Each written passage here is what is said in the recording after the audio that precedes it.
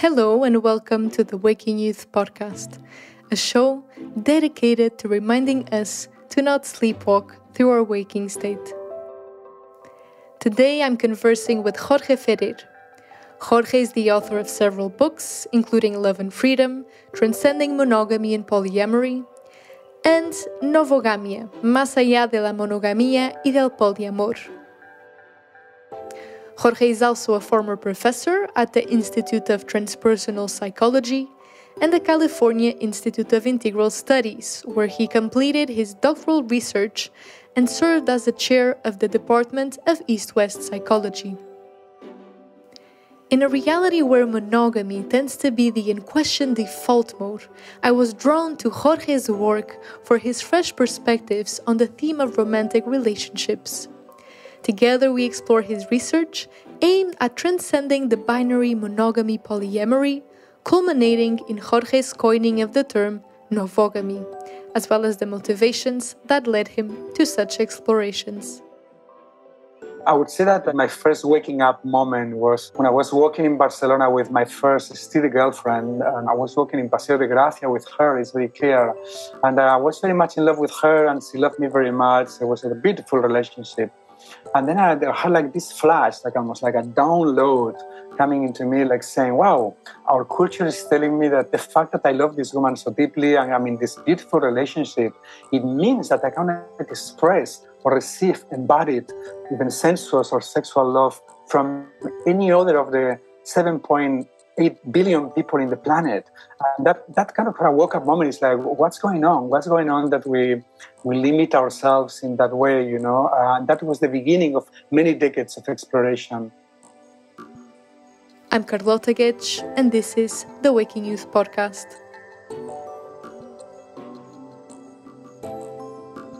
Welcome, Jorge, to the Waking Youth Podcast. It's a pleasure to have you here. Thank you very much, Carlota. It's a pleasure to be here. Absolutely. I would like to start, um, as I usually do, grounding things in a little bit of personal history. And I would like to do this in a different way today. As I was investigating your work, and I started with your work around romantic relationships, relational freedom, later on, I got to the more spiritual side of things with the participation and the mystery and running the risk perhaps of oversimplifying or recognizing patterns in a simplified way some words that resonated with me and that were transversal to all of these different books were integrity or perhaps integration freedom pluralism and co-creation and I selected these words, and I'm curious about what they mean to you in the context of your personal history. wow, it's a big question. Uh, I would say, like, um, for me, I will start from the last one co creation. That's also participation. Uh, for me, co creation means many things, but uh, it means, uh, in particular, that uh, that we can live uh, a life that is co-created by all of who we are. Uh, in our modern times, uh, we have been like uh, been educated mostly in our minds, uh, a very cognicentric education. Um, so um, you know, the kindergarten was like a very integral school.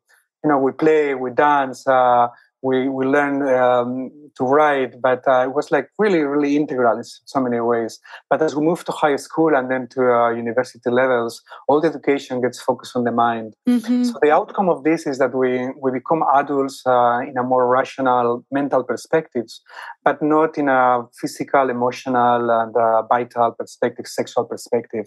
So co-creation for me is like it's like an invitation to to really live a life that is not just ruled by the mind but it's kind of like uh, co-created by all of who we are, all these dimensions as, as a team, you know, as equal yeah. partners in the unfolding of our lives and our spiritual lives. And uh, I'll just mention about pluralism uh, because it's connected to uh, to also our conversation, and uh, I'll leave it here at the moment. Um, pluralism for me is like a, it's a celebration of diversity, mm-hmm. Uh, but for me, it's not only pluralism; it's like critical pluralism. So yes, let's celebrate diversity, but that doesn't mean that we cannot uh, understand certain options, better or worse for ourselves or perhaps for the larger society. So one thing is to celebrate diversity. That is very, uh, of course, politically correct too. But there is like a, for me, there is like a, there's like a deeper source of um, pluralism that is like the, the, the unfolding creativity of a spirit uh, through us that's kind of mm-hmm. participating in the spirit. So um, both um, religious options uh, normally there is you know all the religions they think they have the greatest truth or the ultimate truth and they tend to look down to other options. But also in the relational styles. Exactly. relational styles like uh, monogamous people look down at polyamorous people polyamorous people look down as, as monogamous people. And uh, part of my work is to, is to say listen uh, this is kind of silly uh, um, uh, we need to move beyond, this kind of like dualistic thinking and understand that uh, these different options, both spiritual and also relational, can work better or worse for different people, different dispositions, different contexts, and so forth. Mm-hmm. Great.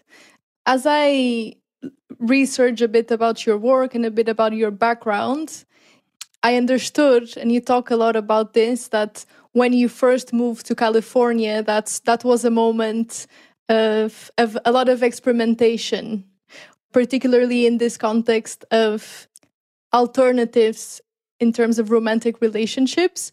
And as you know, the theme and the, the, the angle of this podcast is to explore these little moments of waking up from a previous state of sleepwalking. And we also mentioned a little bit the context you were growing up in Spain. So I'm curious to explore a bit of these moments of waking up for you in the context of romantic relationships.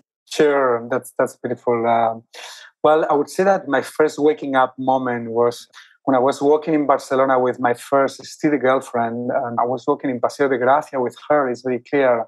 And I was very much in love with her, and she loved me very much. It was a beautiful relationship.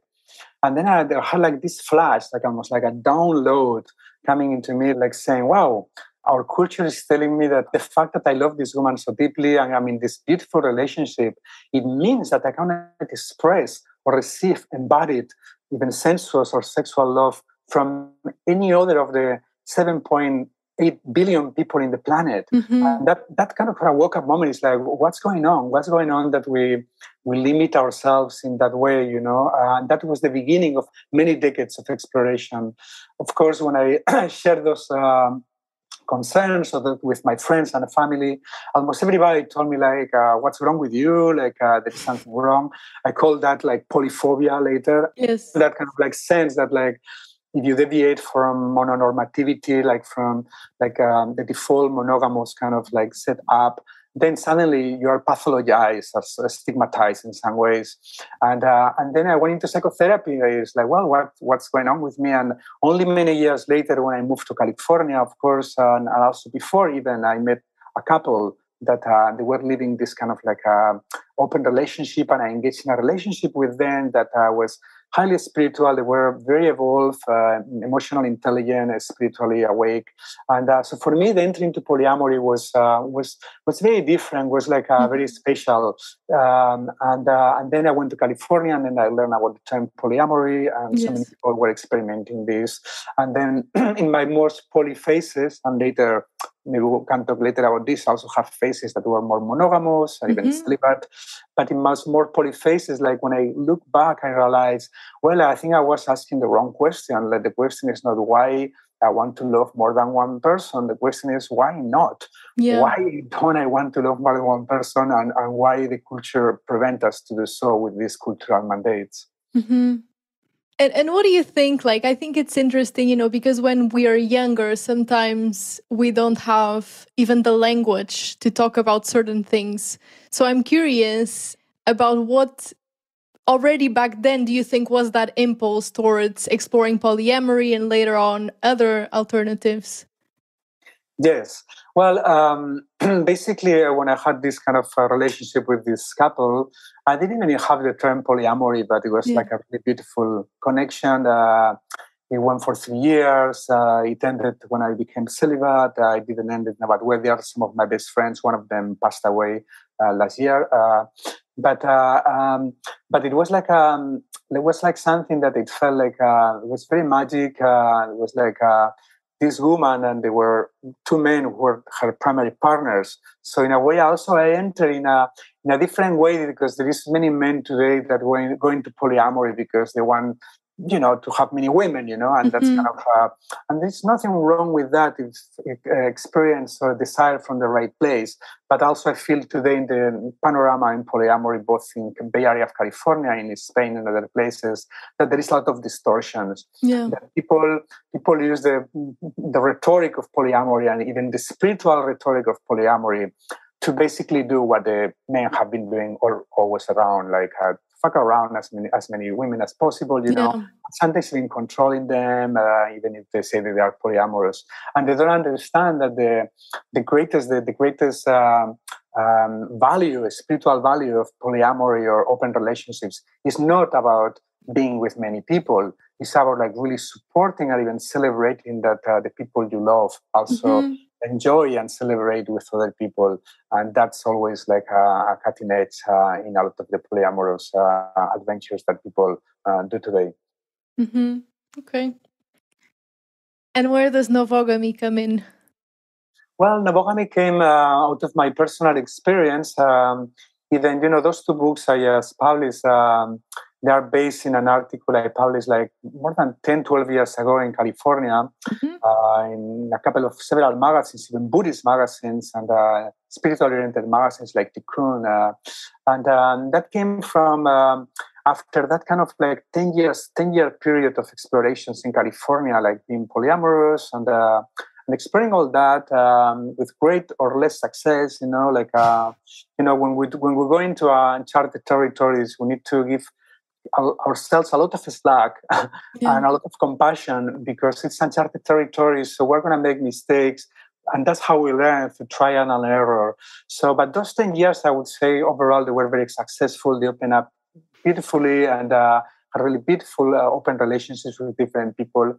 And then after some point, um, I realized like uh, when I also entered a period of celibacy for three years and um, like a calling of my energies to go inward and I didn't know when would end it. It wasn't like a mental vow, like yeah. I want to become celibate to become spiritual enlightened. My energies went inside and they reawakened in a different way uh, after two, two years and eight months, more or less. And after that time, I realized, you know, um, I've been living this poly life uh, for most of my young adulthood, and it's like, what's what's what's there in monogamy for me?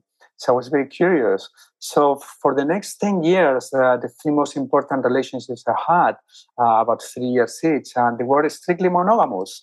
Um, and then at some point during this exploration, I realized, you know, I don't feel either poly or mono. Mm-hmm. I feel I have the freedom to uh, live both types of relationships without serious fears or conflicts, and therefore I already feel felt like that was kind of like beyond the binary.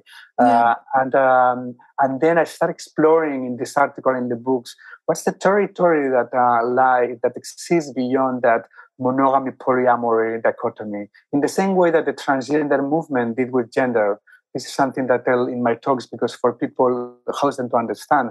Ten years ago, you were male or female, right? There was no other option. And then the transgender movement and transgender scholars and practitioners, they have taught us, like through their experience, that there is a tremendous territory in between and, uh, and beyond and uh, uh, like integrating values for male and female so that's part of what i'm doing with this term novogamy like uh, mapping the territory that uh, that exists beyond that binary mm-hmm. i have to say that as I was preparing for this episode and I ran into your work a few months ago, I've been talking to people about novogamy. And the fact that the word implies this idea of new, it brings a lightness that really helps the conversation. Because if I say polyamorous, that I'm exploring polyamory, even intellectually, there's a bit of a resistance. But novogamy, because you know, particularly the younger generations who are questioning a lot of things in this meta postmodernist phase that we are, they're open to exploration, but there's still a lot of the heritage of the traditional and serial monogamy. So they think it's wrong. Ethically, that is wrong.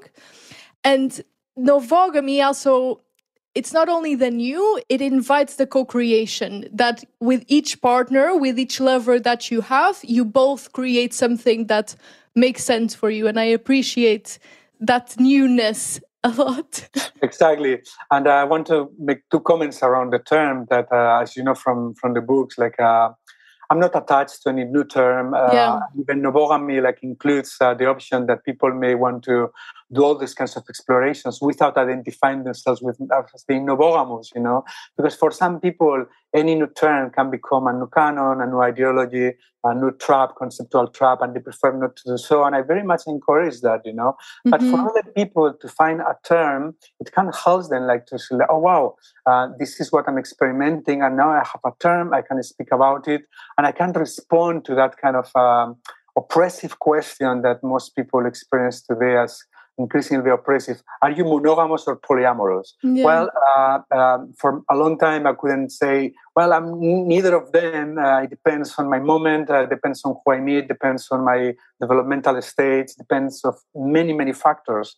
So um, the term novogamy, hopefully, my hope is that it helps people in that regard. Mm-hmm. But the mm-hmm. other caveat is that um, you know, all terms have problems, you know, and the novogamy in a way kind of like a, it creates like a kind of like a another binary with old, you know, new old, mm. you know? Mm. and uh, and that's a caveat that I'm very aware of, very mindful of, and of course that's not the intention. Uh, um, I, I, get out of my way, as you know, to make the case very strongly that uh, in the same way that being transgender is not better or worse than being male or female, in the same way that being transracial is not better or worse than uh, that being like uh, Asian or African American. Yeah to identify as novogamous is not better or worse. It's not a new hierarchy.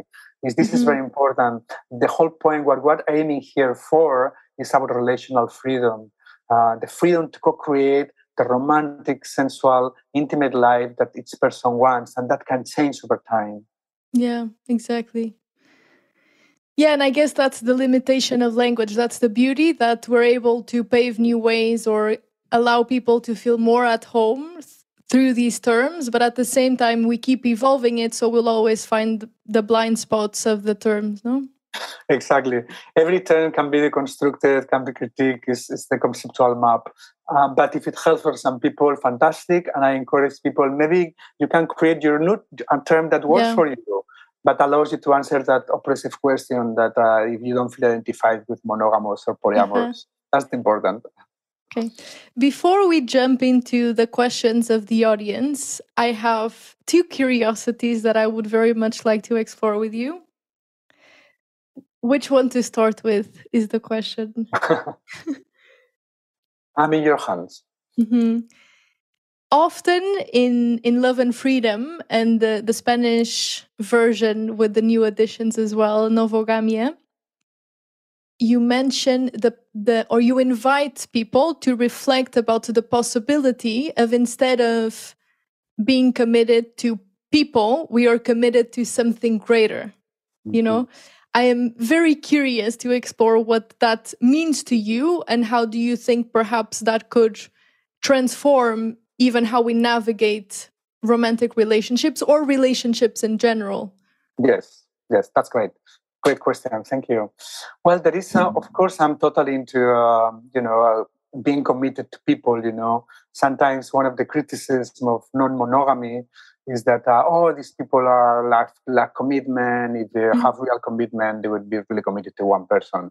Well, um, it could be said also the other way around that many people who are with different partners, they're actually committed to more people. You know, the commitment could be greater. It's a different kind of commitment, so to speak. So I'm very supportive of like uh, being committed. Uh, but at the same time, I feel that uh, when we just commit to mm, to people, you know, and that's there's a beautiful, romantic, and sacred dimension to that. Mm-hmm. But uh, we lose sight um, of a larger context of kind of um, spiritual awakening, of uh, spiritual growth. Um, so um, I would say like, well, yes, let's commit to people, but even deeper than that, we, we commit to to the, the blooming of love in all its manifestations on the planet Earth. There is so much war today, yeah. so painful. So much war. There is so much violence. There is so much uh, shit going around, especially in romantic relationships. There is so much domestic violence there's so much control, there's so much jealousy that is like really sometimes leading to violence. So uh, let's commit to to love uh, in a deeper way, you know, that could relax those tensions, or even commit to um, uh, your own spiritual development and also the spiritual development of all the people you are in connected with, either if it's one or many, you know. So uh, commitment to life, commitment to love, commitment to spiritual awakening, underneath the commitment to singular people, I think it's like a good tandem, good tandem yeah. for for a for a more healthier, more harmonious, less codependent, uh, more um, creative, uh, intimate relationships. Mm-hmm. Yeah, I personally find that very helpful because sometimes my experiences with conventional monogamy in the sense that it's default, it's not actively chosen, is that very easily, you know, we when we start thinking about even terms like jealousy, it invites very much for this competition. It's us, the couple, against everyone else that tries to get inside our house, you know? But this new vision, it's um it's it frees me to explore what that commitment to life and love and human flourishing, you know, could mean in relationship with different people. You know, and it's almost as if I'm discovering how to love each person that I interact with in different ways. You know? Exactly. That's for me one of the key things is like uh, each person is going to awaken different parts of yourself. If you or the, your audience like uh, reflect and uh, see what each of the people that they were romantically involved in their past awakening them, they could realize perhaps that could have been almost different persons, sexually or emotionally or socially with different people. So that's part of like what uh, makes like uh, intimate relationships like a part of psycho spiritual growth mm-hmm. and integral growth because um, you you become aware of more parts of who you are and uh, and also you can start embracing those parts of who you are and uh, become more holistic, become more more fully who you are. Um, the other thing that uh, you mentioned, because you mentioned about the default uh, monogamy. Uh, something that is also important for me to clarify. Uh, mm-hmm. um, I already said this, but I'm not against monogamy per se, but I'm against socially enforced monogamy. And monogamy is enforced through a variety of legal, institutional, cultural mechanisms Hollywood movies, pop music lyrics, they all go around monogamy. You know, it's search, it's failure, and so forth. You know, and uh, and it's very it's very tragic. Like uh, I'll just give you one example that was very poignant for me. Mm-hmm. Um, some of the beauty of writing books is that you get letters from people that you don't know at all, and uh, some of them like touch your heart this one touched my heart very deeply. Uh, was from a representative or the director, I think, of this organization in the United States but it's a worldwide organization called Husbands Out to Wives. And it's thousands of members of uh, married men with families that uh, at some point during their during their marriage they realized that they were gay. They were wow. gay. And mm-hmm. they don't want to leave their wives, they don't want to leave their family life. And they told me like, man, reading your book, it really opens up for us uh, like a language, uh, like a map that we can really uh, engage like our partners, and we uh, we're going to talk about this. The, uh, I will probably be in a talk for them at some point, and uh, so this kind of messages when this kind of like marginal populations, I didn't even know that that organization existed. Yeah. Thousands of members of men. Mm-hmm. I felt so much for them, beautiful families, and then have either to frustrate themselves or or cheat and so the point, well, there is other ways to do this, and uh, hopefully those books and uh, these kind of programs we do will open open up for this kind of more healthier conversations. Yeah, it's intriguing that you mentioned this because right now I'm watching the show Grace and Frankie. I don't know if you know this show. No, I don't. Uh, no? So it's two different couples that they're friends, heterosexual couples. Uh, they're friends for a lot of years and then the two men come out to their two wives that they have been together for the last 20 years in a gay relationship. And then it's the story of how these two women deal with this, but also the two men, you know? And at the same time, they're all, the four of them are very close. They have kids. They have a shared home, holiday house that they go often. So what happens is that the two men go to one of the houses of one of the couples, the, the ex couples, and the other, the two women go to the beach house. and it's fascinating because, you know, it, it's very silly, you know, it's a comedy, but it's so, I think it's so refreshing to see how they're able to mm. transcend that situation and they are able to love each other mm-hmm. you know for who they are as human beings not because of all of these default modes of how marriages should work you know things did not work out so we break up we break our bonds no they try to work on their relationship and then it goes to the point that even when for example like the two men are fighting the two women are helping them you know uh, heal the, the relationship. Yeah, beautiful. I, will I'll have to watch it, uh, but I'm I'm aware of a number of TV shows and movies that are in the last five ten years that have been emerging that uh, that touch these themes, you know, and uh, I think it's like a sign that uh, collectively the collective consciousness is kind of like really waking up waking up also to all these possibilities and start exploring them in social media and also like uh, in, in uh, impacting tv programs and so forth. So it's mm-hmm. i think it's good news. Yes. The other thing that i was curious about in the book Novogamia, you even have an image that illustrates this, and you're talking about what qualifies a romantic relationship as successful or not and you challenge a bit the that this judgment only on the basis of the longevity of the relationship. And in that context you talk about the ecological soci- social political transformative aspect of the relationship as well. And you know if you're in, involved in spiritual communities and the spiritual jargon this makes sense. But if you're not, this might be surprising. And I thought this was quite refreshing. So I'm curious about what this also means to you. How did you come up to to mm. this definition of or this this term to then judge the success of a relationship? Yes, thank you. Well, it also comes through all my personal explorations. Uh, actually, I have to confess that when I fell, uh, when I first felt drawn to um, to exploring these alternative non-monogamous relationships, I had like a um, kind of like a half a conscious, half unconscious motivation to to really explore relationships that would last longer. Because I would see like a serial monogamy is the paradigm today. So so many of my friends changing partners every a few years, few months, few weeks, mm-hmm.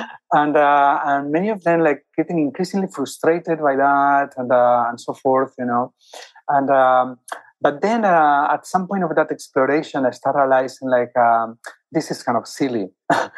Because like um, you know if we if, if you and I we go for dinner one day and we have this splendid dinner right? And we uh, then when the dinner is over we don't say well the dinner was super bad because it's over. Yeah. or we say this great performance a great great movie and we really enjoy it and it also give us a lot you know inspiration and uh, things like that then the movie's over, the performance is over, no one would say, well, that was like very shitty performance because it was over, you know? Why do we do this without intimate relationships, you know? So the, the new criteria I'm bringing forward as, as, an invitation to explore is two, two different types. One is like the transformative power of this, uh, the healing power, you know, how how much this relationship like um, is healing me, is unblocking sexual blocks, uh, is, is opening me, it's opening my heart, you know, it's making me more spiritually aware you know mm-hmm. even more uh, eco sociopolitically aware you know what's what's are the the outcomes of this relationship you know so i think this kind of more transformative criteria healing criteria uh, I think are much better uh, and much more constructive uh, standards to evaluate if a relationship was successful or not, independently of how it, how long it lasted. I can imagine like uh, enough experience. I speak from experience um, that maybe a relationship that was pretty short in time, perhaps I had like this amazing mystical erotic encounter that opened myself spiritually in a way that I had never dreamed before. Mm-hmm. And maybe it was an encounter I had like uh, traveling in, uh, in Asia and it was less for a few weeks because then I was coming back and that was it. And why is this less successful than a relationship yeah. that lasts for 10 years uh, but people are like doing, you know, like it's not so transformative for the people. People are doing passive aggression, codependent. But in our culture, it's like when I was like talking about some people about like when I was in the more poly phase, mm-hmm. uh, the first question they would ask me is like, "Oh, how long it lasted?" You know, yeah. it's like, well, um, I don't know, like two, three years or one year, and then immediately you see uh, doesn't work, you know. Yeah. And um, in because we live in a mononormative culture, uh, when it's monogamous relationships, uh, it's a different answer.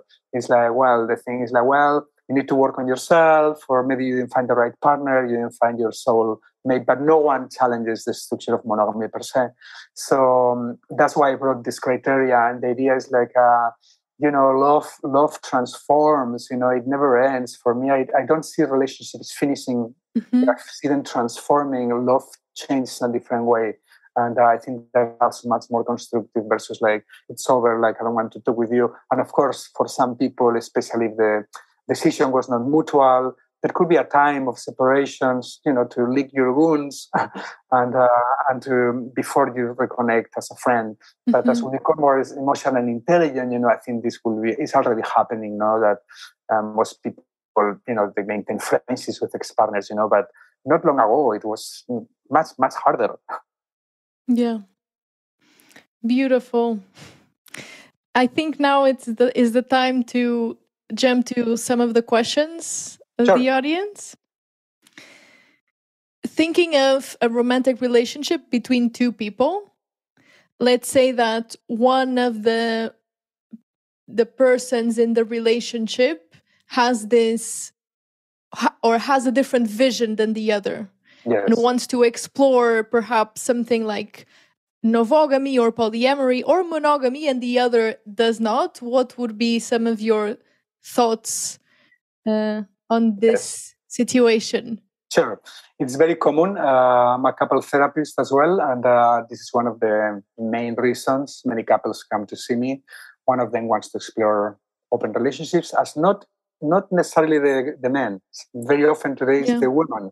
Uh, time has changed. You know, people still project, oh, it's men who want this, not women. It's totally it's totally not true, at least in mm-hmm. my experience, in counseling experience. Uh, I think that there are different steps here. Um, I think, like, of course, like um, it's important to explore, like, uh, first of all, um, if the person that does not want the opening, um, uh, why is that? Is there fears? Is there conflicts? Is there a history also of trauma or sexual trauma, or relational trauma behind? You know, Mm-hmm. Uh, and then this could be an opportunity for this person to explore all these things and, and heal. That doesn't mean that once she or he heals or once polyamory, uh, uh, but it means that it's an opportunity for growth.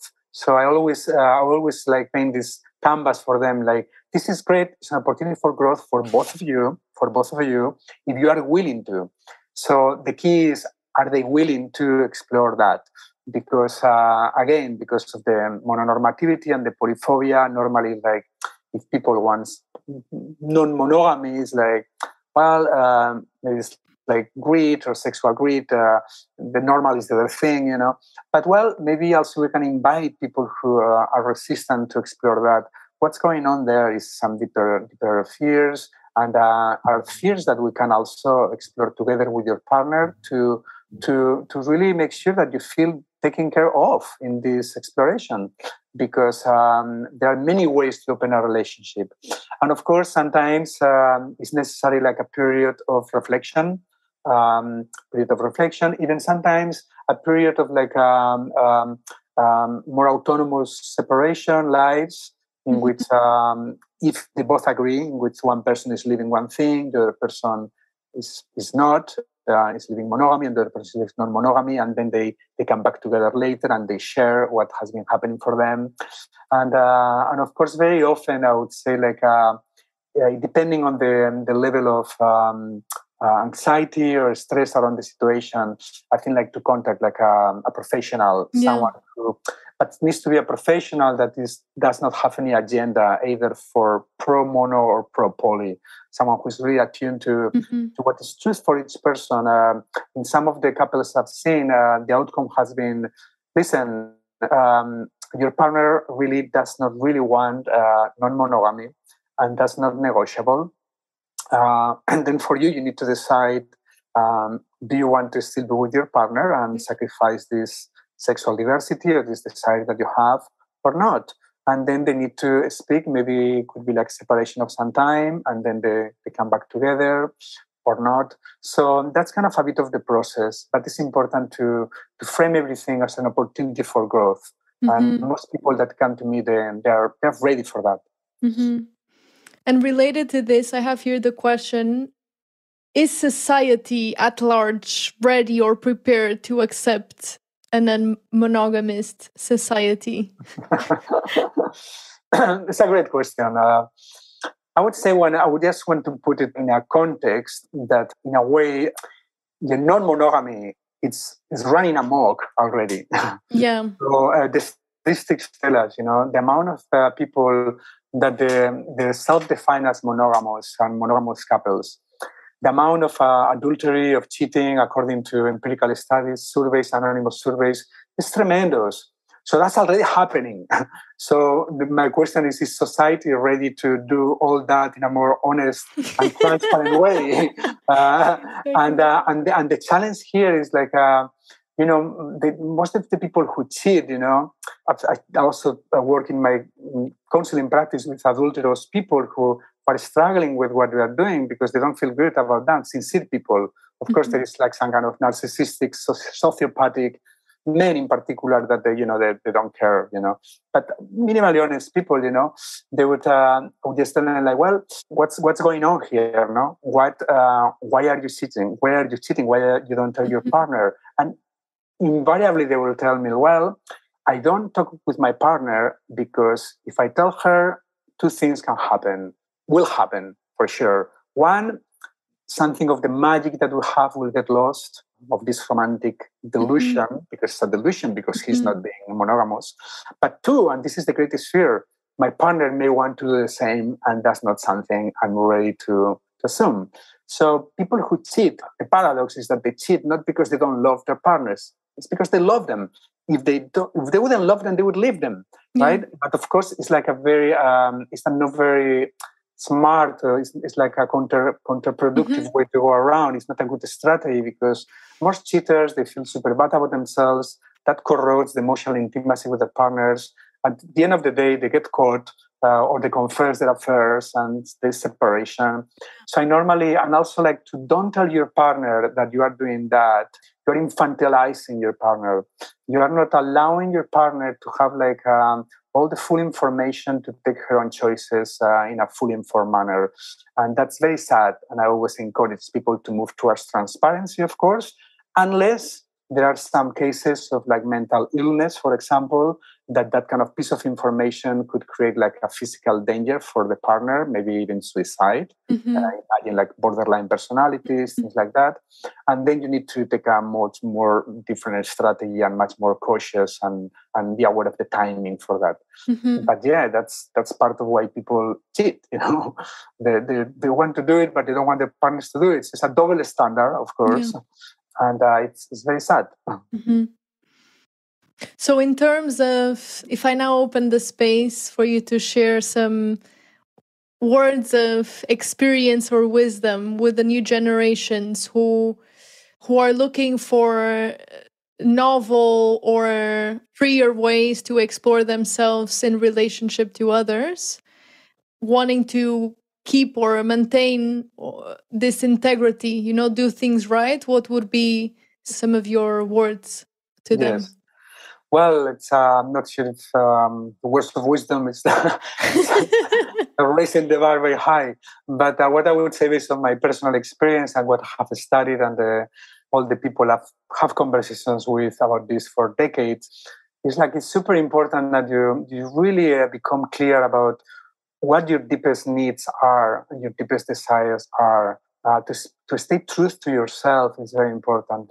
And then be transparent like but in a in a candid humble way to approach your partner like listen darling I, I love you so much. I want to be with you. I don't want what i'm going to tell you to break our relationship and i'm afraid i'm really afraid that if i say this this is going to damage something.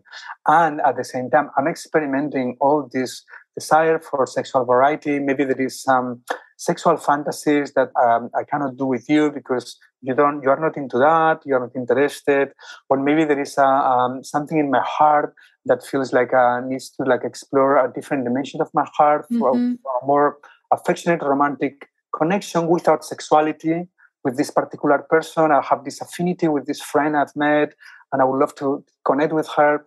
Just to be very humble and like to place from a place of vulnerability and to space from a place of, of truth. Mm-hmm. And then also the other thing is like to, to, I would tell all these younger generations is like if you move uh, in all those directions, you will feel more empowered about, about who you are in the world. And at the same time, you'll realize you have more compassion to your, you, yourself and others. You will realize that we are all work in progress, that we are changing all the time, that we, and the vows that we make like 10 years ago, we are not precognitive or omniscient. We can change, and that's okay, you know, to change. It's part of evolution and life, and we are part of life. So um, the needs and desires you had like five years ago may not be the same ones that have now or five years from now. So it's embracing that kind of fluidity, mm-hmm. that kind of uh, changing dynamism. You know, I tell you know I tell you in the book of Novogamy, like uh, one of my main messages is like uh, you know your inner complexity and your inner dynamism of who you are prevents that perhaps that a commitment to a particular relationship style is going to uh, be a place of growth for you forever or completely and so forth you know? You need to open to life. And also the the cards that life threw at you. Mm-hmm. for many people they are like happy in a monogamous relationship for even eight ten years. And then maybe sexuality is not what it used to be. And that's one of the most common you know mm-hmm. uh, motivations for couples to come to couple counseling about their sexuality. And then maybe they meet someone that awakens those feelings well, life brought that into your life. What you yeah. do with that is your decision, and that needs to be like an ecological decision, not just, oh, I want to do this, I'll do it. But if you are in committed relationships, it needs to be part of a larger conversation with your partner and perhaps even from your community of friends. Mm-hmm. It's important because these conversations they get stuck in the dyad, and uh, and there they get into cycles and spirals that they are not very constructive. That's why it's helpful to see a couple counselor, but also it's very helpful, perhaps even more to to share the conversation with friends. And of course, you need to be careful with who do you share it with, because otherwise you can get a lot of negative projection, yeah. certain more conservative people. So you need to be cautious about that too. Beautiful.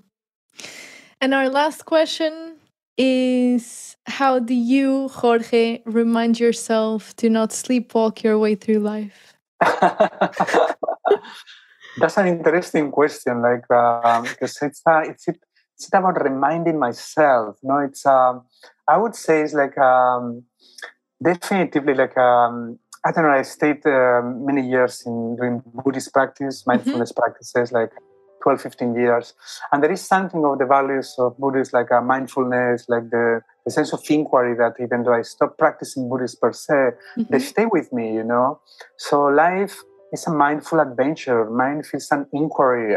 So for me to approach life as something like uh, really mysterious and while just inquiring together as human beings, giving baby steps to really understand what this life in this planet floating in the cosmos is about one of my hunches is that there is something about this miracle that we call Gaia, uh, that uh, it's one of the few places in the cosmos, perhaps, that in which we can really integrate consciousness and matter, yeah. and also consciousness and uh, that kind of um, primordial energy of life connected to our sexuality that uh, I say is also spiritual energy in a more kind of uh, undifferentiated way, but where all the generative power of spirit or the mystery or, or, whatever you want to call it is there, no?